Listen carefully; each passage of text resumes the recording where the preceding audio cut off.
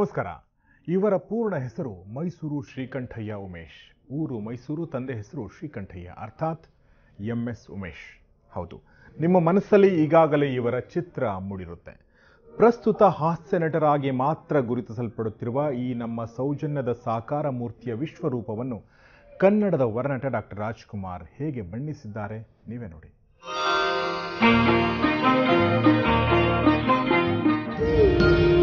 ಮಿತ್ರ ಉಮೇಶರು ತಮ್ಮ ಬದುಕಿನ ನೋವು, ನಲಿವು, ಏಳು ಬೀಳುಗಳನ್ನು ಬಹು ಸ್ವಾರಸ್ಯಕರವಾಗಿ ವಿವರಿಸುತ್ತಾರೆ. ಪದ ಹಾಡಿದ್ದಾರೆ, ಹಾರ್ಮೋನಿಯಂ ನುಡಿಸಿದ್ದಾರೆ, ತಬಲ ಬಾರಿಸಿದ್ದಾರೆ, ಬಣ್ಣ ಹಚ್ಚಿಕೊಂಡಿದ್ದಾರೆ, ನಾಟಕ ಕಲಿತು ಕಲಿಸಿದ್ದಾರೆ. ಕೆರಳಿ ಕೆಂಡವಾಗಿದ್ದಾರೆ, ಕೊರಗಿ ಕಂಗಾಲಾಗಿದ್ದಾರೆ, ಗಹಗಹಿಸಿ ನಕ್ಕಿದ್ದಾರೆ, ಬಿಕ್ಕಳಿಸಿ ಅತ್ತಿದ್ದಾರೆ. ಅವಮಾನಿತರಾಗಿ ಕುಗ್ಗಿದ್ದಾರೆ, ಸನ್ಮಾನಿತರಾಗಿ ಹಿಗ್ಗಿದ್ದಾರೆ. ಕಷ್ಟ ಕಾರ್ಪಣ್ಯಗಳ ನಡುವೆಯೇ ಹಾಸ್ಯ ನಟರಾಗಿ ರೂಪುಗೊಂಡಿದ್ದಾರೆ. ಪರಮಾಶ್ಚರ್ಯ. ಅಯ್ಯೋ, ಸಾಕಪ್ಪ ಇಂಥ ನೋವು, ಅಯ್ಯೋ, ಬೇಡಪ್ಪ ಇಂಥ ಸಾವು. ಎಂದು ಕಣ್ಣೀರಲ್ಲೇ ಕೈ ತೊಳೆಯದೆ ಇವೆಲ್ಲದರಿಂದ ಹೊರಗೆ ನಿಂತು ತನ್ನನ್ನೇ ತಾನು ಹಾಸ್ಯಕ್ಕೀಡು ಮಾಡಿಕೊಂಡು ನಗುವ ಮನಸ್ಸನ್ನು ಆ ಭಗವಂತನಿಂದ ವರವಾಗಿ ಪಡೆದಿದ್ದಾರೆ. ಡಾಕ್ಟರ್ ರಾಜ್ ಅವರ ಈ ವರ್ಣನೆ ಎಂ ಎಸ್ ಉಮೇಶ್ ಅವರ ವ್ಯಕ್ತಿತ್ವಕ್ಕೆ ಹಿಡಿದ ಕೈಗನ್ನಡಿ. ನೋವಿನಲ್ಲೂ ನಲಿವ ವ್ಯಕ್ತಿ ನಮ್ಮ ಉಮೇಶ್. ಹಾಗಿದ್ದರೆ ಯಾವುದು ಈ ನೋವು? ಯಾವುದು ಈ ಸಾವು ಸ್ವತಃ ಉಮೇಶ್ವರ ವಿವರಿಸ್ತಾರೆ, ಕೇಳಿ. ಅವನನ್ನು ನಮ್ಮ ಬಾಲಚಂದ್ರ ಅವರು ಪರಿಚಯ ಇದ್ದರು ಅವರು ಪರಿಚಯ ಮಾಡಿಸ್ಬಿಟ್ಟು ಅಲ್ಲಿ ಸ, ತಮಿಳು ಚಿತ್ರನ ಕಳಿಸೋಣ ಅಂತ ಮಾಡಿದ್ದೆ. ಅವನು ಬೇಡಪ್ಪ ಸುಂದರಿ ಇಲ್ಲೇ ನೋಡೋಣ, ಕನ್ನಡದಲ್ಲೇ ಏನಾರು ಮಾಡೋಣ ಅಂತ ಅಂತ ಹೇಳ್ತಿದ್ದೆ. ಆಯ್ತಪ್ಪ, ಕನ್ನಡದಲ್ಲಿ ಮಾಡೋಣ ಅಂತಂದರೆ ಫೋಟೋ ಹಾಕ್ಸಿ, ರೆಡಿಯಣ್ಣ ಅಂತಂದೆ. ತಡಿಯಪ್ಪ, ಇನ್ನೊಂದು ವರ್ಷ ಇನ್ನೊಂದು ವರ್ಷ ತಡಿಯಪ್ಪ ಅಂತಂದ. ಇನ್ನೊಂದು ವರ್ಷ ತಡಿಯಪ್ಪ ಅಂತ ಅವನಿಂದ. ಅಷ್ಟೇ ಹೇಳಿದ್ದಷ್ಟೇ. ಅದೇ ಹೇಳಿದ್ದು ಸ್ವಲ್ಪ ದಿವಸಕ್ಕೆ, ಅವನು ಆಕ್ಸಿಡೆಂಟಲ್ಲಿ ಹೋಗ್ಬಿಟ್ಟ.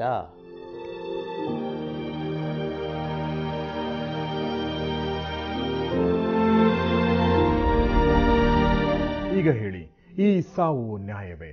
ಇಪ್ಪತ್ತೆರಡರ ಹರೆಯದಲ್ಲಿ ಅಪಘಾತಕ್ಕೀಡಾಗಿ ವಿಧಿವಶನಾದ ಸ್ವಂತ ಮಗನ ಸಾವಿನ ನೋವನ್ನು ಅರಗಿಸಿಕೊಳ್ಳಲು ಪ್ರಯತ್ನಿಸುತ್ತಿರುವ ಈ ತಂದೆಯ ಆಂತರದ ಅಳಲನ್ನು ಕೇಳುವರು ಯಾರು?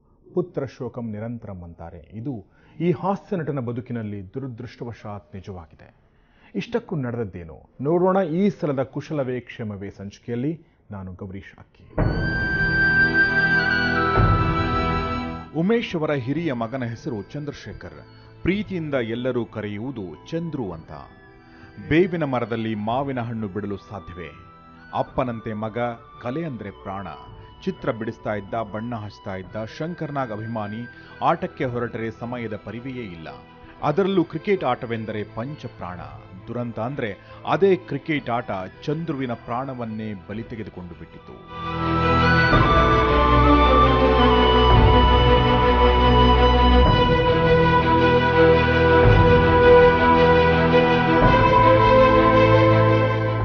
ಆಗ ಉಮೇಶ್ ಅವರ ಮನೆ ಸುಬ್ರಹ್ಮಣ್ಯ ನಗರದಲ್ಲಿತ್ತು. ಸುಬ್ರಹ್ಮಣ್ಯ ನಗರ ಮತ್ತು ಮಲ್ಲೇಶ್ವರದ ಮಧ್ಯೆ ರೈಲ್ವೆ ಹಳಿ ಹಾದು ಹೋಗುತ್ತಲ್ವಾ ಅಲ್ಲೇ ಪಕ್ಕದಲ್ಲಿಯೇ ಆಟದ ಮೈದಾನ. ಎಂದಿನಂತೆಯೇ ಚಂದ್ರು ಗೆಳೆಯರ ಜೊತೆ ಕ್ರಿಕೆಟ್ ಆಡಲೆಂದು ಆ ಮೈದಾನಕ್ಕೆ ಹೋಗಿದ್ದಾನೆ. ವಿಪರೀತ ಬಿಸಿಲು, ಆಟವಾಡಿ ದಣಿದಿದ್ದಾನೆ. ಕಣ್ಣು ಕತ್ತಲಿಟ್ಟಂತಾಗಿದೆ. ಅಷ್ಟರಲ್ಲೇ ಗೆಳೆಯನೊಬ್ಬ ಬೌಂಡರಿ ಬಾರಿಸಿದ್ದಾನೆ. ಚೆಂಡು ಹೋಗಿ ರೈಲ್ವೆ ಹಳಿಯ ಆಚೆ ಬಿದ್ದಿದೆ. ಕಣ್ಣು ಕತ್ತಲಿಟ್ಟುಕೊಂಡಿದ್ದರೂ ಚಂದ್ರು ಓಡಿದ್ದಾನೆ. ಹಳಿಯ ಆಚೆ ಜಂಪ್ ಮಾಡಬೇಕು, ಅಷ್ಟರಲ್ಲಿ ರೈಲೊಂದು ಬಂದು ಬಿಟ್ಟಿದೆ ಅಷ್ಟೇ, ಚಂದ್ರು ಹಳಿಯ ಮೇಲೆ ಎರಡು ತುಂಡಾಗಿ ಬಿದ್ದಿದ್ದಾನೆ. ವಿಪರ್ಯಾಸ ಅಂದ್ರೆ ಬಹುಶಃ ಇದೇ ಇರಬೇಕು. ಚಂದ್ರುವಿಗೆ ಕಮಲ್ ಹಾಸನ್ ನಟನೆಯ ನಾಯಕನ್ ಚಿತ್ರವೆಂದರೆ ಪ್ರಾಣ. ಅದರಲ್ಲೂ ಮಗನ ಹೆಣ ನೋಡಿ ಅಳುವ ಕಮಲ್ ಹಾಸನ್ ದೃಶ್ಯವಂತೂ ಚಂದ್ರುವಿಗೆ ತುಂಬಾ ಇಷ್ಟ. ಹೀಗಾಗಿಯೇ ಥಿಯೇಟರ್ನಲ್ಲಿ ಹತ್ತಾರು ಬಾರಿ ನಾಯಕನ್ ಚಿತ್ರವನ್ನು ನೋಡಿದ್ದರೂ. ಅದರ ಒಂದು ಕ್ಯಾಸೆಟ್ ಅನ್ನು ತಂದು ಮನೆಯಲ್ಲಿಟ್ಟುಕೊಂಡಿದ್ದ. ಮಗನ ಹೆಣದ ಮುಂದೆ ಅಳುವ ಕಮಲ್ ದೃಶ್ಯವನ್ನು ಪದೇ ಪದೇ ಹಾಕಿ ತನ್ನಪ್ಪನಿಗೆ ತೋರಿಸ್ತಾ ಇದ್ದಂತೆ ಚಂದ್ರು.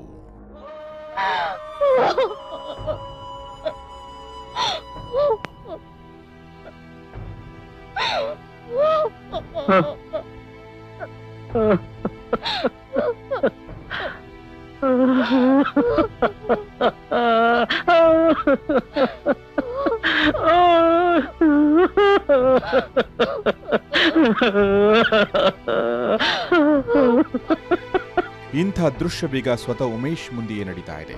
ಮಗನ ಹೆಣದ ಮುಂದೆಯೇ ಈ ತಂದೆ ಕುಳಿತು ಬಿಕ್ಕಳಿಸಿ ಅಳುತ್ತಿದ್ದಾರೆ. ನಾಯಕನ್ ಚಿತ್ರದ ದೃಶ್ಯವನ್ನೇ ರಿವೈಂಡ್ ಮಾಡಿದಂತೆನಿಸುತ್ತದೆ.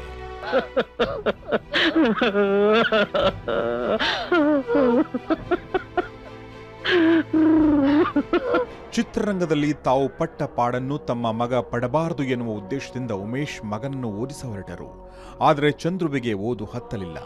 ಬಣ್ಣದ ಬದುಕಿನತ್ತ ಬಂದೇ ಬಿಟ್ಟ. ಆತ ಆಗಾಗ ತನ್ನ ಅಪ್ಪನ ಬಳಿ ಹೇಳ್ತಾ ಇದ್ದಂತೆ ಅಪ್ಪ, ನಾನು ಸಿನಿಮಾ ನಟನಾದ್ರೆ ನೀನು ಇಷ್ಟು ವರ್ಷಗಳಲ್ಲಿ ಗಳಿಸಿದ್ದನ್ನು ನಾನು ಒಂದೇ ವರ್ಷದಲ್ಲಿ ಸಂಪಾದಿಸ್ತೀನಿ ಅಂತ. ಆದರೆ ವಿಧಿ ಒಪ್ಪಲಿಲ್ಲ. ಆಯಸ್ಸು ಗಳಿಸಲು ಚಂದ್ರು ವಿಫಲಗೊಂಡ.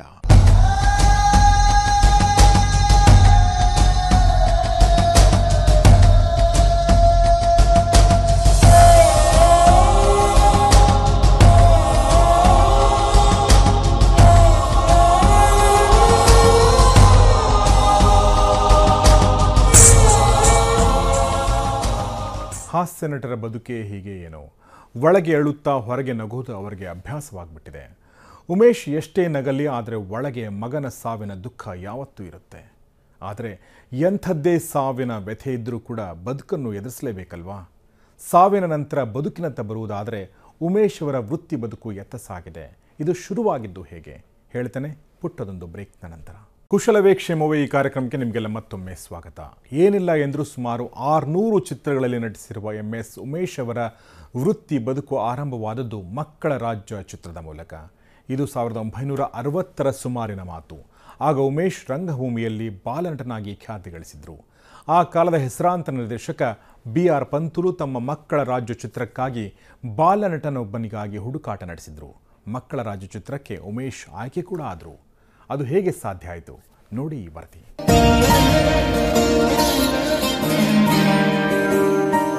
ಬಿ ಆರ್ ಪಂತುಲರವರು ಮಕ್ಕಳ ರಾಜ್ಯ ಚಿತ್ರ ತೆಗೀತಿದ್ರು ಅದಕ್ಕೆ ಒಬ್ಬ ನಾಯಕನ ಪಾತ್ರ, ಅಂದರೆ ಬಾಲ ಹುಡುಗನೇ ಇರಬೇಕು ಅವರ ನಾಯಕನ ಪಾತ್ರ. ಆಕೆಗೆ ಏನು ಮಾಡ್ತಾರೆ ಯಾರನ್ನು ನೋಡ್ತಾಯಿದ್ರು ಕೊನೆಗೆ ಕಣಗಾಲ್ ಪುಟ್ಟಣ್ಣನವರು. ಅವರು ಸಹ ನಿರ್ದೇಶಕರಾಗಿದ್ದರಲ್ಲಿ ಅವ್ರಿಗೆ ಯಾರಿಗೂ ಗೊತ್ತಾಗದಂಗೆ, ನನಗೂ ಗೊತ್ತಾಗದಂಗೆ ಬಂದು ನಾಟಕ ನೋಡಿದ್ದಾರೆ. ನನ್ನ ಪಾತ್ರ ನೋಡಿದ್ರು. ಮಾರನೇ ದಿವಸ ನನ್ನ ಏನೇ ಆ ಪಾತ್ರ ಮಾಡ್ತೀಯ ಅಂದರು. ನನಗೆ ಅನುಮಾನ. ಅದು ಎಂಥ ಸಂಸ್ಥೆ? ಬಿ ಆರ್ ಪಂತರು ದೊಡ್ಡ ಸಂಸ್ಥೆ. ಆ ಸಂಸ್ಥೆಯಲ್ಲಿ ನಾನು ಪಾತ್ರ ಮಾಡಿದೆ. ಆ ಕಾಲದಲ್ಲಿ ಖ್ಯಾತ ನಿರ್ದೇಶಕ ಬಿ ಆರ್ ಪಂತುಲು ಅವರಿಗೆ ಸಹಾಯಕರಾಗಿ ಪುಟ್ಟಣ್ಣ ಕಣಗಾಲ್ ಕೆಲಸ ಮಾಡ್ತಾ ಇದ್ರು. ಯಾವ ನಾಟಕದಲ್ಲಿ ಉಮೇಶ್ ಅವರ ಪ್ರತಿಭೆಯನ್ನು ಗುರುತಿಸಿದ್ರೋ ಗೊತ್ತಿಲ್ಲ. ಮಕ್ಕಳ ರಾಜ್ಯ ಚಿತ್ರದ ಹೀರೋ ಕಂ ಬಾಲನರನ ಪಾತ್ರಕ್ಕೆ ಉಮೇಶ್ ಅವರನ್ನೇ ಆಯ್ಕೆ ಮಾಡಿಕೊಂಡ್ರು. ಪಂತುಲು ಅವರಿಗೂ ಈ ಆಯ್ಕೆ ಇಷ್ಟವಾಯಿತು. ಶಿವಾಜಿ ಗಣೇಶನ್ ವಿಜ್ಞಾನಿಯ ಪಾತ್ರದಲ್ಲಿ ನಟಿಸಿದ ಆ ಚಿತ್ರವನ್ನು ಎಂ ವಿ ರಾಜಮ್ಮ ನಿರ್ಮಾಣ ಮಾಡಿತು. ನನಗಂತೂ ಸುತ್ತಲೂ ಏನು ಕಾಣಿಸ್ತಾನೆ ಇಲ್ಲ. ಇದು ನಿಜವಾ ಸುಳ್ಳ ಅಂತ. ಆಮೇಲೆ ಹೌದು ಕಣ್ಯ, ನಾನು ಅದಕ್ಕೋಸ್ಕರ ಬಂದಿರೋದ್ರಿಂದ ಕಣಗಾಲ್ ಪುಟ್ಟಣ್ಣನವರು ಅದಕ್ಕೆ ಯೋಗಾನ ಸ್ಮೃತಿಗಳು ಭಾಳ ಸಪೋರ್ಟ್ ಮಾಡಿದ್ರು. ಇವತ್ತು ಅವರು ಯೋಗಾನ ಸ್ಮೃತಿಗಳನ್ನ ಯೋಗಾನ ಸ್ಮೃತಿಗಳ ವಿಚಾರ ಮುಂದಕ್ಕೆ ಹೇಳ್ತೀನಿ ಆದರೆ ಆ ಸಮಯದಲ್ಲಿ ಭಾಳ ಸಪೋರ್ಟ್ ಮಾಡಿದ್ರು. ಇವತ್ತು ಪುಟ್ಟಣ್ಣನವರು ನನ್ನನ್ನು ಬಿ ಆರ್ ಪಂತಲವರು ಪರಿಚಯ ಮಾಡಿಸಿ ನಾಯಕನ ಪಾತ್ರ, ಮಕ್ಕಳ ರಾಜ್ಯ ಪಾತ್ರದಲ್ಲಿ ಮಕ್ಕಳ ರಾಜ್ಯ ಚಿತ್ರದಲ್ಲಿ ನಾಯಕನ ಪಾಠ, ವಿಜಯನ್ ಪಾತ್ರ ಕೊಟ್ಟರು. ಜಿ ಸದಾಶಿವಯ್ಯ ರಚಿಸಿದ ಗೀತೆಗೆ ಟಿ ಜಿ ಲಿಂಗಪ್ಪನವರು ರಾಗ ಸಂಯೋಜನೆ ಮಾಡಿದ್ರು. ಇವರ ರಾಗ ಸಂಯೋಜನೆಯೇ ಮಳೆಯೇ ಸುರಿದುವ ಹಾಡು ಜನಪ್ರಿಯವಾಯಿತು. ಇದೇ ಸಂದರ್ಭದಲ್ಲಿ ಉಮೇಶ್ ಅವರಿಗೆ ಹಿರಿಯ ಕಲಾವಿದರಾದ ಬಾಲಕೃಷ್ಣ, ನರಸಿಂಹರಾಜು, ಡಿಕ್ಕಿ ಮಾಧವರಾವ್, ಕಾಂಚನ, ಎಂಎನ್ ಲಕ್ಷ್ಮೀದೇವಿ ಮೊದಲಾದವರ ಪರಿಚಯವಾಯಿತು. ಮಕ್ಕಳ ರಾಜ್ಯ ಚಿತ್ರತಂಡ ಉಮೇಶ್ ಪಾಲಿಗೆ ನಿಜವಾದ ಅರ್ಥದಲ್ಲಿ ಕಲಾ ಆಯಿತು. ಏನು ಅಬ್ಬಬ್ಬ, ಆನಂದ ಅಂದರೆ ಒಳ್ಳೊಳ್ಳೆ ಕಲಾವಿದರಿದ್ದರು ಮೂರು ಭಾಷೆಯಲ್ಲಿ ತೆಗಿತಿದ್ರು ಕನ್ನಡದಲ್ಲಿ ಮಕ್ಕಳ ರಾಜ್ಯ, ತಮಿಳಿನಲ್ಲಿ ಕೊಳಂದಗಳ ಕಂಡ ಕುಡಿಯರಸು ತಮಿಳ್ನ, ತೆಲುಗಿನಲ್ಲಿ ಪಿಲ್ಲಲ ತೆಚ್ಚಿನ ಸಲ್ಲಿನ ರಾಜ್ಯ. ಆ ತೆಲುಗು ಆರ್ಟಿಸ್ಟ್ ಬಾಲಕೃಷ್ಣ ರಮಣ ರೆಡ್ಡಿ ಅವರೆಲ್ಲ ಯಾರ್ಯಾರು ಇಲ್ಲಿ ತಮಿಳಿನ ಸಾರಂಗಪಾಣಿ ಜಾವ ಸೀತಾರಾಮ್ ಅಂತ ಯಾರ್ಯಾರಿದ್ರು ಎಲ್ಲ ರಾಜನಾಲ ತೆಲುಗಿನ ಎಲ್ಲರೂ ಸೇರೋರು, ಎಲ್ಲ ಒಂದು ನಿಮಿಷ. ನಮಗೆ ಒಂದು ಸಂತೋಷ ಆಯಿತು ಅಂದರೆ ಅಷ್ಟು ಜನದ ಮಧ್ಯೆ ನನ್ನ ಕನಸು. ಯಾಕೆಂದರೆ ನಾಟಕ ಕಂಪ್ನಿಲಿ ನಾವು ಎಲ್ಲೋ ಒಂಥರ ಇದ್ವಿ. ಇಲ್ಲೇನಪ್ಪ ಇದು? ಅಬ್ಬಬ್ಬಬ್ಬಬ್ಬದು ಹಬ್ಬ ಅಂತ ಆ ಸಂತೋಷ ಆಗೋದು. ಆಮೇಲೆ ಆ ದಿವಸ ನಮಗೆ ಪುಟ್ಟಣ್ಣವರು ಟ್ರೈನಿಂಗ್ ಕೊಡೋರು ನಮ್ಗೆ. ಅಮ್ಮ, ಈ ಬೇಗೆ ಕಾಣದೋ? ನಮ್ಮ ಮೊರೆ ಕೇಳದೋ? ದಯ ತೋರಮ್ಮ. ಅಮೃತ ವರ್ಷಿಣಿ ಅಮೃತ ವರ್ಷಿಣಿ ಅಮೃತ ಮಕ್ಕಳ ರಾಜ್ಯ ಚಿತ್ರ ತೆರೆ ಕಾಣುತ್ತಿರುವಂತೆಯೇ ಮಾಸ್ಟರ್ ಉಮೇಶ್ ಅವರ ಖ್ಯಾತಿ ಗಗನಕ್ಕೇರಿತು. ನೆರೆ ರಾಜ್ಯಗಳಿಂದ ಬಂದು ಬೆಂಗಳೂರಿನ ಚಿತ್ರಮಂದಿರಗಳಲ್ಲಿ ಚಿತ್ರ ವೀಕ್ಷಿಸಿದ ಖ್ಯಾತನಾಮ ನಿರ್ಮಾಪಕ ನಿರ್ದೇಶಕರೆಲ್ಲ ಮೂಗಿನ ಮೇಲೆ ಬೆರಳಿಟ್ಟು, ಯಾರೀ ಬಾಲನಟ ಎಂದು ಪ್ರಶ್ನಿಸಿದರು. ಒಂದೇ ಚಿತ್ರದ ಮೂಲಕ ಮಾಸ್ಟರ್ ಉಮೇಶ್ ಸ್ಟಾರ್ ಬಾಲನಟರಾಗಿಬಿಟ್ರು. ದುರಂತ ಅಂದ್ರೆ ಅದೇ ಕೊನೆ. ಮತ್ತೆ ಅವಕಾಶಗಳು ಉಮೇಶ್ ಅವರನ್ನು ಹುಡುಕಿಕೊಂಡು ಬರಲಿಲ್ಲ. ಚಿತ್ರ ಬಿಡುಗಡೆ ಆಯಿತು. ಏನು ಹೀರೋ ಹೀರೋ ಅಂತ ಎಲ್ಲ ಇದು ಮಾಡಿಬಿಟ್ರು. ಆಮೇಲೆ ಆಮೇಲೆ ಏನಪ್ಪ ಅಂತಂದರೆ, ನಾನು ಬೆಳೀಲೇ ಇಲ್ಲ. ಹದಿನೈದು ವರ್ಷ ನನ್ನ ಪಿಕ್ಚರ್ ಬಿಡುಗಡೆ ಆದಾಗ. ಚಿಕ್ಕವ್ರಿಗೆ ದೊಡ್ಡವನಾಗ್ಬಿಟ್ಟೆ ಚಿಕ್ಕ ದೊಡ್ಡ ಪಾತ್ರಕ್ಕೆ ಚಿಕ್ಕವನಾಗ್ಬಿಟ್ಟೆ.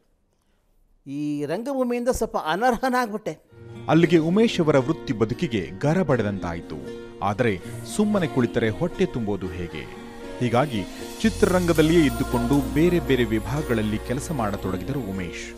ಪರದೆ ಬರೆದರು, ಬ್ಯಾನರ್ ಬರೆದರು, ಬೋರ್ಡ್ ಬರೆದರು, ಹಾರ್ಮೋನಿಯಂ ಕಲಿತರು, ಪಿಯಾನೋ ನುಡಿಸಿದರು, ತಬಲಾ ಬಾರಿಸಿದರು. ಉಮೇಶ್ ಅವರ ಬದುಕು ಸಕ್ರಿಯವಾದದ್ದು ಹೀಗೆ. ಸಕ್ರಿಯ ಮಾತ್ರ, ಸಕ್ಕರೆ ಅಲ್ಲ. ಅವ ಮಕ್ಕಳ ರಾಜ್ಯದಲ್ಲಿ ದುಡ್ಡಲ್ಲಿ ನಲವತ್ತೈದು ಸ, ನಲವತ್ತೈದು ರೂಪಾಯಿ ಉಳಿದಿತ್ತು ನನಗೆ. ಎಲ್ಲ ನಮ್ಮ ತಂದೆ ತಾಯಿಗಳೆಲ್ಲ ಕೊಟ್ಟು. ಆ ನಲವತ್ತೈದು ರೂಪಾಯಿ ಒಂದು ಹಾರ್ಮೋನಿಯಂ ತಗೊಂಡು ನಮಗೆ ಯಾವುದೊಂದು ಹಾರ್ಮೋನಿಯಂ ಕಲಿಬೇಕು ಅಂತ ಹೊರಟಾಗ ಒಂದು ಆರು ತಿಂಗಳಲ್ಲೇ ಸಿದ್ಧಿಸ್ಬಿಡ್ತು. ಅಷ್ಟೇ ಕಲಿಯಲಿಲ್ಲ ನಾವು. ಬದುಕು ನನಗೆ ಗೊತ್ತಾಯಿತು. ಈ ನಾಟಕ ನಿಮ್ಮ ಬಣ್ಣದ ಬದುಕು ಏನು ಸ್ಥಿರವಲ್ಲ ಅಂತ. ಹಾರ್ಮೋನಿಯಂ ಜೊತೆಗೆ ವರ್ಗೀಸ್ ಪೇಂಟ್ರ್ ಅಂತ ಇದ್ದರು ಫಿಗರ್ ಸ್ಕೆಚ್ ಮಾಡೋದು ಸೀನ್ ಬರೆಯೋದು ಬರ್ಡ್ ಬರೆಯೋದೆಲ್ಲ ಕಲ್ ಅವ್ರ ಸ್ವಲ್ಪ ಕಲ್ತಿ ಭಗವತಿ, ನಾರಾಯಣಿ, ಅವಳು, ಆ ತಾಯಿ ನಮಗೆ ಏನೇ ಕೆಲಸ ಕೊಟ್ಟರು ಸಹಿತ, ಪಾತ್ರ ಮಾಡೋಕ್ಕೆ ಹೋದ್ರೂ ಸಹಿತ ಹಾರ್ಮೋನಿ ಬಾರಿಸೋಕೆ ಹೋದ್ರೂ ಸಹಿತ, ಒಂದು, ಅದೇನೋ ಆಕೆ ಕೂತ್ಕೊಂಡ್ಬಿಡ್ತಾಳೆ, ನುಡಿಸ್ತಾ ಇರ್ತಾಳೆ. ಹಾಗೆಂದ ಮಾತ್ರಕ್ಕೆ ಅಭಿನಯಿಸುವ ಅವಕಾಶಗಳು ಸಿಗಲೇ ಎಂದಲ್ಲ, ಆದರೆ ಸಿಕ್ಕ ಅವಕಾಶಗಳು ಗುರುತಿಸುವಂಥವುಗಳಾಗಿರಲಿಲ್ಲ. ಆ ಹೊತ್ತಿನಲ್ಲಿ ಮತ್ತೆ ಕರೆದವರು, ಮತ್ತದೇ ಪುಟ್ಟಣ್ಣ ಕಣಗಾಲ್. ಹೌದು, ಆಗ ಪುಟ್ಟಣ್ಣ ಒಂದು ಪ್ರಯೋಗಕ್ಕೆ ಮುಂದಾಗಿದ್ದರು. ಮೂರು ಕಥೆಗಳನ್ನು ಒಂದೇ ಚಿತ್ರದಲ್ಲಿ ಹೇಳುವ ಪ್ರಯತ್ನ. ಚಿತ್ರದ ಹೆಸರು ಕಥಾಸಂಗಮ ಸಾವಿರದ ಒಂಬೈನೂರ ಎಪ್ಪತ್ತಾರರಲ್ಲಿಯೇ ಈ ಪ್ರಯತ್ನದ ರೂಪುರೇಷೆ ಸಿದ್ಧವಾಯಿತು. ಅಂದರೆ, ಒಂದು ಒಳ್ಳೆಯ ಪಾತ್ರಕ್ಕಾಗಿ ಉಮೇಶ್ ಅವರು ಹದಿನಾರು ವರ್ಷಗಳಷ್ಟು ದೀರ್ಘಕಾಲ ಕಾಯಬೇಕಾಯಿತು. ಇವರೆಲ್ಲರ ಆಶೀರ್ವಾದದಿಂದ ನಾನು ಸ್ವಲ್ಪ ಕಾಮಿಡಿ ಪಾತ್ರಕ್ಕೆ ನಾನು ನಾಟಕದಲ್ಲಿ ಬಂದೆ. ಆ ನಾಟಕದಲ್ಲಿ ಕಾಮಿಡಿ ಪಾತ್ರಕ್ಕೆ ಎಲ್ಲ ಪಾತ್ರಗಳು ಮಾಡ್ತಾಯಿದ್ದೆ ಹಾಗೆ ಕಾಮಿಡಿ ಪಾತ್ರಗಳಿಗೂ ಬಂದೆ. ಅದಾದಮೇಲೆ ನಮಗೆ ಮತ್ತೊಂದು ಸೌಭಾಗ್ಯ ಅಂತಂದರೆ ನನ್ನ ನಾಟಕ ಅಂದರೆ ಎಷ್ಟು ವರ್ಷ ವನವಾಸ, ಉಪವಾಸ ಎಲ್ಲ ಪಟ್ಟಿದ್ದೆಲ್ಲ ಆಯಿತು, ಕಷ್ಟಪಟ್ಟಿದ್ದಾಯಿತು. ನಮಗೇನು ಪ್ರಯೋಜನ ಇಲ್ಲ. ಅಂದರೆ ಪ್ರಯೋಜನ ಅಂದರೆ ಹೊಟ್ಟೆ ತುಂಬ್ತಾ ಇಲ್ಲ. ಸ ತಿಂಗಳಾದ ಗಟ್ಟಲೆ ತಿಂಗಳಾನಗಟ್ಟಲೆ ಸಂಬಳಗಳು ಬರ್ತಿಲ್ಲ. ಹೆಂಡತಿ ಮಕ್ಕಳು ಸಾಕಾಗ್ತಿಲ್ಲ ದೊಡ್ಡವನಾಗ್ಬಿಟ್ಟಿದ್ದೆ, ಮದುವೆ ಎಲ್ಲ ಆಗಿತ್ತು. ಏನು ಪ್ರಯೋಜನ ಇಲ್ಲಪ್ಪ ಅಂದ್ಬಿಟ್ಟು ನಾಟಕ ಕಂಪ್ನಿ ಬಿಟ್ಟು ಬಂದೆ. ಮೂರು ಕಥೆಗಳ ಒಂದು ಚಿತ್ರ ಅಂದೆ. ಇವು ಯಾವುವು ಅಂದ್ರೆ, ಗಿರಡ್ಡಿ ಗೋವಿಂದರಾಜ್ ಅವರ ಹಂಗು, ವೀಣಾ ಯಲಬುರ್ಗಿಯವರ ಅತಿಥಿ ಮತ್ತು ಈಶ್ವರ ಚಂದ್ರ ಅವರ ಮುನಿತಾಯಿ. ಇವುಗಳಲ್ಲಿ ಉಮೇಶ್ಗೆ ಸಿಕ್ಕ ಅವಕಾಶ ಮುನಿತಾಯಿ ಚಿತ್ರದ್ದು. ನೆನಪಿಡಿ, ಈಗಿನ ಸೂಪರ್ ಸ್ಟಾರ್ ರಜನಿಕಾಂತ್ ಕೂಡ ಈ ಚಿತ್ರದಲ್ಲಿ ನಟಿಸಿದ್ದಾರೆ. ಅಂದಹಾಗೆ, ರಜನಿಕಾಂತ್ ಪಡೆದ ಸಂಭಾವನೆ ಸಾವಿರ ರೂಪಾಯಿ ಮತ್ತು ತಾವು ಪಡೆದ ಸಂಭಾವನೆ ಏಳ್ನೂರ ಐವತ್ತು ರೂಪಾಯಿ ಎಂದು ಉಮೇಶ್ ಈಗಲೂ ನೆನಪಿಸಿಕೊಳ್ಳುತ್ತಾರೆ.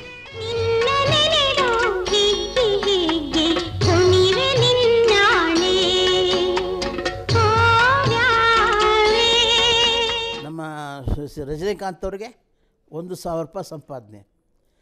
ಜೊತೇಲಿ ಅವ್ರದ್ದೇ ಸೀನ್ಗಳು ಭಾಳ ಅದ್ಭುತವಾಗಿ ಚಿತ್ರೀ, ಚಿತ್ರೀಕರಣವಾಯಿತು ಅಂದರೆ ಪುಟ್ಟಣ್ಣನವರು ಸಹಿತ ಏನು ಎಂಥಂಥ ಇಟ್ಟಿದ್ರು ಅಂದರೆ ಅದನ್ನು ನಾವು ಮರೆಯೋದಕ್ಕಾಗಲ್ಲ. ಎಂಥ ಅದ್ಭುತವಾದ ಪಾತ್ರ. ಆ ಚಿತ್ರ ಬಿಡುಗಡೆ ಆದಮೇಲೆ ಎಲ್ಲ ಇಡೀ ನಮ್ಮ ಚಿತ್ರರಂಗ, ಯಾರಪ್ಪ ಈ ಹುಡುಗ? ಯಾರು ಈ ಹುಡುಗ?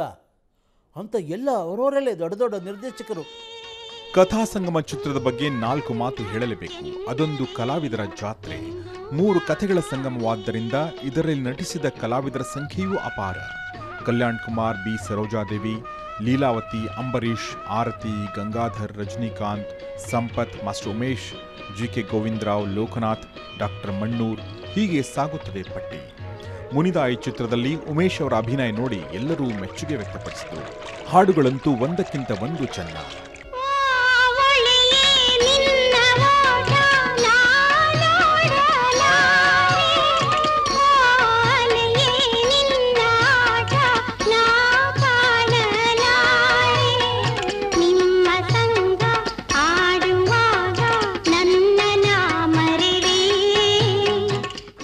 ಮುನಿತಾಯಿ ಚಿತ್ರದಲ್ಲಿನ ಉಮೇಶ್ ಅಭಿನಯಕ್ಕಾಗಿ ರಾಜ್ಯ ಪ್ರಶಸ್ತಿ ಬಂತು.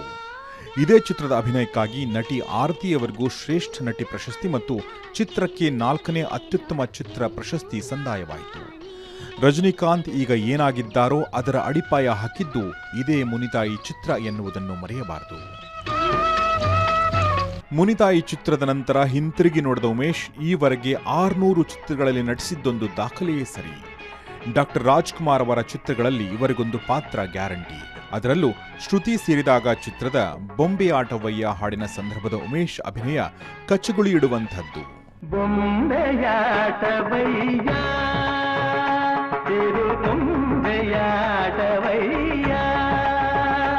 ನೀ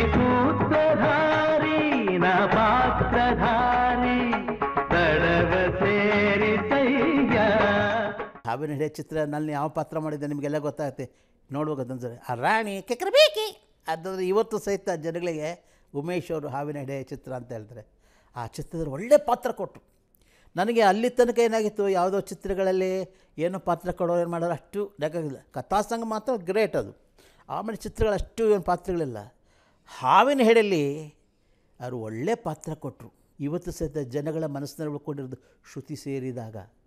ಬೊಂಬೆಯಾಟವಯ್ಯ ನೀ ಸೂತ್ರಧಾರಿ, ನಾ ಪಾತ್ರಧಾರಿ, ದಡವ ಸೇರಿ ಸೈಯ ಅಂತೂ ಆ ಭಗವಂತ ನನಗೊಂದು ದಡ ಸೇರಿಸ್ದ. ಯಾವ ಸಮಯಕ್ಕೆ ಯಾರ ಸರಸಕ್ಕೆ, ಯಾವ ಸಮಯಕ್ಕೆ ಯಾರ ಸರಸಕ್ಕೆ, ಬೇಡಿ ಕೊರಗುವೆ ತಿಳಿಯೇ ಮಾಡಿ ನಗುವೆ ಸಂಗೀತವೋ, ಸಾಹಿತ್ಯವೋ, ಸಮಯ ನೋಡಿ ಕೊಡುವೆ ಬೊಂಬೆಯಾಟವಯ್ಯ ಆ ಕಾಲದಲ್ಲಿ ಉಮೇಶ್ ಪಡೆದ ಅತ್ಯಂತ ಹೆಚ್ಚಿನ ಸಂಭಾವನೆ ಅಂದರೆ ಅದು ಐದು ಸಾವಿರ ರೂಪಾಯಿಗಳು.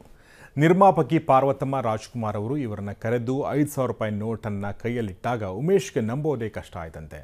ಆಗಿನ ಕಾಲದಲ್ಲಿ ಇದು ಅತಿ ದೊಡ್ಡ ಮೊತ್ತದ ಸಂಭಾವನೆಯೇ ಸರಿ. ಅಂದಹಾಗೆ ಉಮೇಶ್ ಅವರು ಹಾಸ್ಯ ನಟರಾಗಿ ಬದಲಾದದ್ದು ಹೇಗೆ? ಅದಕ್ಕೊಂದು ಪುಟ್ಟ ಕಥೆ ಇದೆ. ಅದನ್ನು ಹೇಳ್ತೀನಿ ಚಿಕ್ಕದೊಂದು ಬ್ರೇಕ್ನ ನಂತರ. ಕುಶಲವೇ ಕ್ಷೇಮವೇ ಈ ಕಾರ್ಯಕ್ರಮಕ್ಕೆ ನಿಮಗೆಲ್ಲ ಮತ್ತೊಮ್ಮೆ ಸ್ವಾಗತ. ಆ ಕಾಲದಲ್ಲಿ ಶಾಂತ್ ಕುಮಾರ್ ಅನ್ನೋ ಹೆಸರಿನ ಖ್ಯಾತ ರಂಗಭೂಮಿ ಹಾಸ್ಯ ನಟರೊಬ್ಬರಿದ್ದರು ಇವರನ್ನ ಬಿಟ್ಟರೆ ರಂಗಭೂಮಿಯಲ್ಲಿ ಆ ಕಾಲದಲ್ಲಿ ಬೇರೆ ಹಾಸ್ಯ ನಟರು ಇರಲೇ ಇಲ್ಲ. ಒಂದು ಸಾರಿ ಅಚಾನಕ್ಕಾಗಿ ಒಂದೇ ವೇದಿಕೆ ಮೇಲೆ ಶಾಂತ್ ಕುಮಾರ್ ಜೊತೆ ನಟಿಸುವ ಸೌಭಾಗ್ಯ ಉಮೇಶ್ ಅವರಿಗೆ ಸಿಕ್ತು. ನಾಟಕದ ಒಂದು ಹಂತದಲ್ಲಿ ಶಾಂತ್ ಕುಮಾರ್ ಅವರಿಗೆ ವ್ಯತಿರಿಕ್ತವಾಗಿ ಉಮೇಶ್ ಅವರು ಪಕ್ಕ ಪಕ್ಕನೆ ನಕ್ರಂತೆ. ಅದು ಹಾಸ್ಯ ಇತಿಹಾಸದ ಆರಂಭ. ಅಲ್ಲೇನಾಯ್ತು? ನೀವೇ ನೋಡಿ. ಉಮೇಶ್ ನಕ್ಕ ಆ ಶಬ್ದಕ್ಕೆ ಒಂದು ಕ್ಷಣ ಎಲ್ಲವೂ ಸ್ತಬ್ಧ. ಮರುಕ್ಷಣದಲ್ಲಿ ಆಡಿಯನ್ಸ್ ಕಡೆಯಿಂದ ನಗುವಿನ ಭೋರ್ಗರೆತ. ಅದು ನಗುವಿನ ಸುನಾಮಿ. ಉಮೇಶ್ ಮುಖ ಕಪ್ಪಿಟ್ಟಿತು. ಯಜಮಾನ್ರು ಶಾಂತಕುಮಾರ್ ತಮ್ಮನ್ನು ಕಂಪನಿಯಿಂದ ಹೊರಹಾಕುತ್ತಾರೆ ಎಂದೇ ಭಾವಿಸಿದ ಉಮೇಶ್ ಸೈಡ್ ವಿಂಗ್ನಲ್ಲಿ ನಡುಗುತ್ತಾ ನಿಂತು ಬಿಟ್ಟರಂತೆ ಆದರೆ ನಡೆದದ್ದೇ ಬೇರೆ. ಶಾಂತಕುಮಾರ್ ಅಂತ. ಅವರು ಬಹಳ ವೀರ್ ಸಾಧಕನ ಪಾತ್ರ ಭಾಳ ಚೆನ್ನಾಗಿ ಮಾಡೋರು ಭಾಳ ಚೆನ್ನಾಗಿ ಮಾಡೋರು. ಶಾಂತಕುಮಾರ್ ಅವರು ಮೀರ್ ಸಾಧಕನ ಪಾತ್ರದಲ್ಲಿ ಜಯಂತಿ ಹೇಳ್ತಾರೆ. ಆವ ಮೇರೆ ಪ್ಯಾರಿ ಮೇರೆ ಸಿನಿಮೆ ಮೇ ಸೀನೆಲ್ಲ ಆಗೋದು, ಚಲೋ ಮೇರ ಮರ, ಗರ್ಕು ಚಲೋ ಅಂತ ಹೇಳಿದಾಗ ಆ ಜಯಂತಿಯವ್ರು ಹೇಳ್ತಾರೆ, ನೀವು ನಾಚಿಕೆ ಆಗೋದಿಲ್ವೇ? ಒಂದು ಮದುವೆಯಾದ ಹೆಣ್ಣನ್ನು ಈ ರೀತಿ ವರ್ತಿಸಲು, ಈ ರೀತಿ ವರ್ತಿಸಲು ನಿಮಗೆ ನಾಚಿಕೆ ಆಗಿದೆ, ಥೂ ಅಂತ ಹೋಗ್ತಾಳೆ ಅಮ್ಮ ಅವ್ರು ಟಕ್ ಅಂತ ನೀರು ತಿರುಗ್ತಾರೆ. ನಾನಿದ್ದವನು ಅದು ತಕ್ಷಣ ಅದೇನೋ ಸ್ಪಾಂಟೇನಿಯಸ್ ಅಂತ ನಕ್ಬಿಟ್ಟೆ. ಎಲ್ಲ ಒಂದು ಐದು ನಿಮಿಷ. ನಕ್ಬಿಟ್ರು ನನ್ನ ನಗು ಅಂತ ನಕ್ಬಿಟ್ರಲ್ಲ ಆಹಾ, ನಗು ಬಿಡಲೇ ಇಲ್ಲ ಅವ್ರು ಅಷ್ಟು ಮಾಡಿ. ಆಮೇಲೆ ಐದು ನಿಮಿಷ ನಿಂತಮೇಲೆ ಆಮೇಲೆ ಶಾಂತಕುಮಾರ್ ಅವರು ಪಾತ್ರ ಮಾಡೋಕ್ಕೆ ಶುರು ಮಾಡಿದ್ರು. ಆಮೇಲೆ ನನಗೊಂಥರ ಭಯ ಆಯಿತು. ಶಾಂತಕುಮಾರ್ ಅವರು ದೊಡ್ಡ ಕಲಾವಿದರು. ಅವ್ರಿಗೇನಾದ್ರು ಇನ್ಸಲ್ಟ್ ಆಗೋಯ್ತೇನೋ ಅಂತಂದ್ಬಿಟ್ಟು ನನಗೆ ಭಯ ಅಂಜಿಕೆ ಒಳಗಡೆ ಬರ್ತಿದ್ದಂಗೆ ಶಾಂತಕುಮಾರ್ ಅವರು ಬಾಚಿ ತೆಗ್ಬಂದ್ಬಿಟ್ರು ಇಷ್ಟು ವರ್ಷ ರಂಗಭೂಮಿಲಿ ನನ್ನ ಮುಂದೆ ಜನನ ಯಾರು ನಾನು ಬಿಟ್ಟರೆ ಯಾರೂ ನಗಿಸಿದ್ದಿಲ್ಲ. ಆದರೆ ಇವತ್ತು ನನ್ನನ್ನು ಮೀರಿ ನನ್ನ ಜನಗಳನ್ನು ನಗಿಸಿದ್ಯಾ ನೀನು? ನೀನು ಒಳ್ಳೆ ಹಾಸ್ಯ ಕಲಾವಿದೆ ಆಗ್ತೀಯ ಅಂತಂದರು. ಅಷ್ಟೇ ಸಾಕು ಅವರ ಆಶೀರ್ವಾದ. ಅಲ್ಲಿಂದ ಶುರುವಾದ ಹಾಸ್ಯ ಯಾತ್ರೆ ಈಗಲೂ ಮುಂದುವರೆದಿದೆ. ಅಂದು ರಂಗಭೂಮಿಯ ಮೇಲೆ ಯಾವ ನಗೆಯನ್ನು ನಕ್ಕರೋ ಅದೇ ನಗೆಯನ್ನು ಉಮೇಶ್ ಈಗಲೂ ಮುಂದುವರೆಸಿದ್ದಾರೆ. ಆ ಜಾಗ ನನಗೆ ಚೆನ್ನಾಗಿ ಗೊತ್ತು ಅಯ್ಯೋ, ನಾ ಗೆದ್ದೆ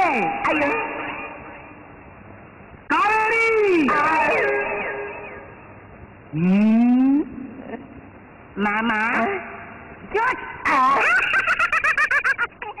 ಯಾವುದೇ ಸಭೆ ಸಮಾರಂಭ ಸಿನಿಮಾ ಕಾರ್ಯಕ್ರಮಗಳಿಗೆ ಹೋದರೂ ಉಮೇಶ್ ಅವರು ಈ ರೀತಿ ನಗಲೇಬೇಕು. ಈ ವಿಲಕ್ಷಣ ನಗು ಉಮೇಶ್ ಅವರಿಗೆ ಒಂದು ಐಡೆಂಟಿಟಿಯನ್ನು ತಂದುಕೊಟ್ಟದ್ದು ಸುಳ್ಳಲ್ಲ.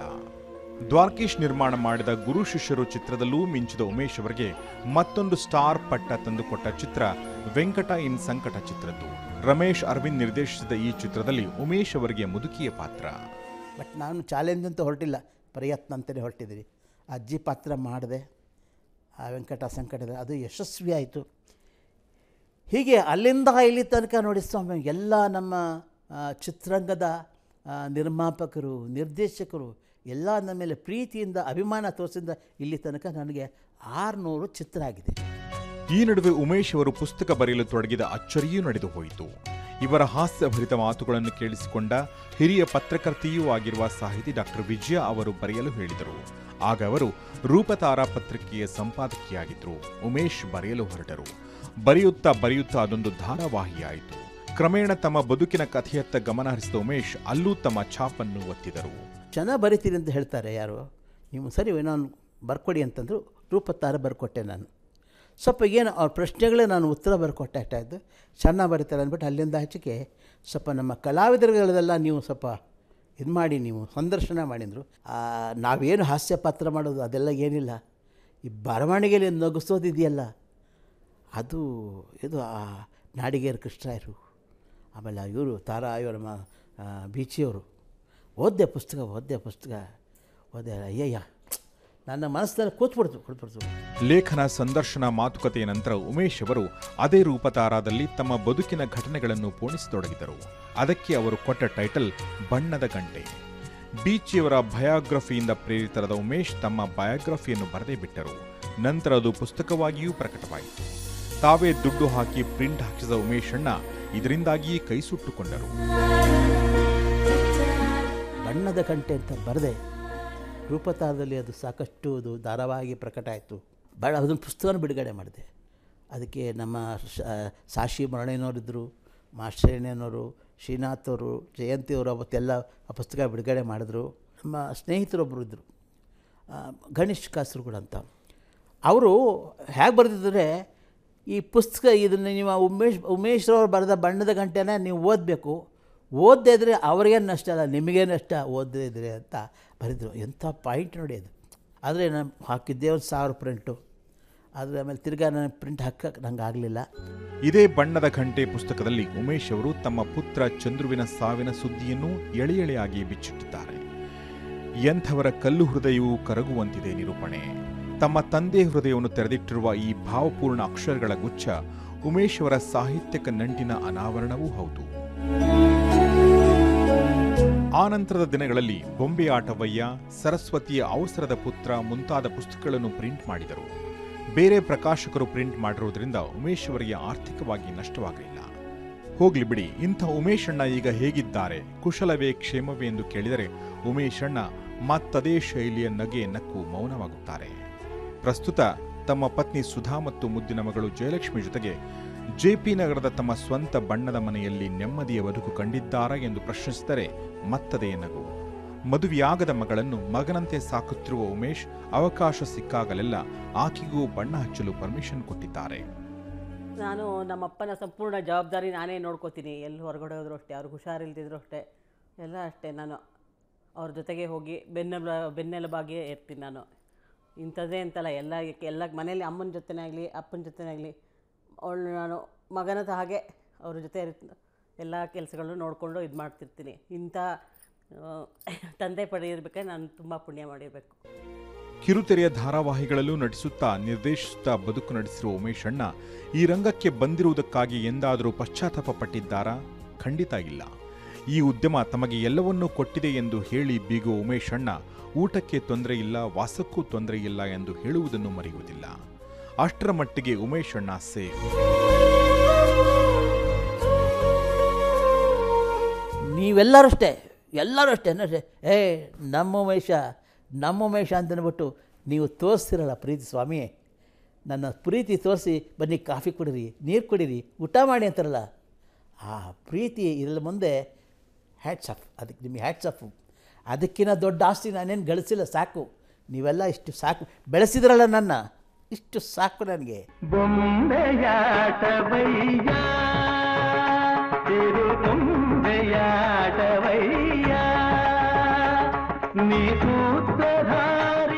ಬದುಕು ಜಟಕಾ ಬಂಡಿ ವಿಧಿಯದರ ಸಾಹೇಬ ಮದುವೆಗೋ ಮಸಣಕೋ ಎಂಬಂತೆ ಉಮೇಶಣ್ಣನ ಬದುಕು ಸಾಗಿದೆ. ಮಸಣದ ವಿಷಯ ಬಂದಾಗ ಮುದ್ದಿನ ಮಗ ಚಂದ್ರುವಿನ ನೆನಪು ಆಗದೇ ಇರೋದಿಲ್ಲ. ಆದರೆ ಈ ನೋವಿನ ಗಳಿಗೆಯನ್ನು ಮನಸ್ಸಿನಲ್ಲಿ ಇಟ್ಟುಕೊಂಡು ಕನ್ನಡಿಗರನ್ನು ನಿರಂತರವಾಗಿ ನಗಿಸುತ್ತಾ ಸಾಗಿದ್ದಾರೆ ಎಂ ಎಸ್ ಉಮೇಶ್ ಅವರು. ಇವರ ಕಲಾ ಸೇವೆ ನಿರಂತರವಾಗಿ ಸಾಗಲಿ ಅಂತ ಹಾರೈಸ್ತಾ ಈ ವಾರದ ಕುಶಲ ವೀಕ್ಷಣೆ ಮುಗಿಸ್ತಾ ಇದ್ದೀನಿ. ಮುಂದಿನ ಎಪಿಸೋಡ್ನಲ್ಲಿ ಮತ್ತೊಬ್ಬ ಸಾಧನೆಯೊಂದಿಗೆ ಬರ್ತೀನಿ. ನೋಡ್ತಾ ಇರಿ ಸುದ್ದಿ ಟಿವಿ.